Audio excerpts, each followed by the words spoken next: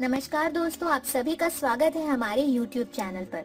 दोस्तों, आज मैं आपको एक ऐसी विधि बताने वाली हूँ, जिससे कि आप किसी स्त्री का सम्मोहन, यानी किसी स्त्री को या लड़की को अपने वश में कर सकते हैं। आज की इस वीडियो के माध्यम से दोस्तों, आपको एक ऐसी विधि और एक ऐसा मंत्र बताया जाएगा, जिससे आप किसी को भी अपने वश में कर सकते हैं। यह एक ऐसी विधि है, जिसमें आप बिना उसकी फ़ोटो यूज़ किए बिना उसके घर जाए, बिना उससे मिले, बिना कुछ खिलाए पिलाए, चाहे वह दुनिया के किसी भी कोने में हो, आप उसे अपने वश में कर सकते हैं। इस विधि के लिए सबसे ज़रूरी है कि सिर्फ़ आप एक दूसरे को जानते हो। इतना काफ़ी है। यह आवश्यक नहीं है कि अगर आप किसी को चाहते हैं तो सामने वाला भी आपको चाहता हो।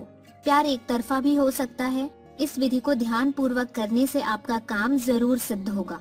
इस काम को आप पूरी निष्ठा के साथ करें। इसे गलत तरीके से मत करें।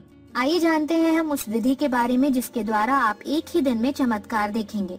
इस विधि को करने के लिए दोस्तों आपको उस स्त्री का नाम पता होना चाहिए, जिस पर आप वशीकरण करना चाहते हैं। ध्यान रहे, यह विधि करते हुए आपको कोई ना देखे, यह बिल्कुल एकांत हो।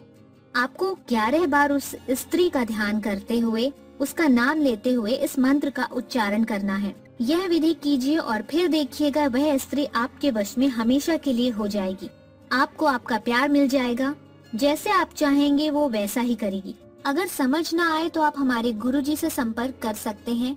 नीचे दिए गए नंबर्स पर आप कॉल कर सकते हैं। धन्यवाद।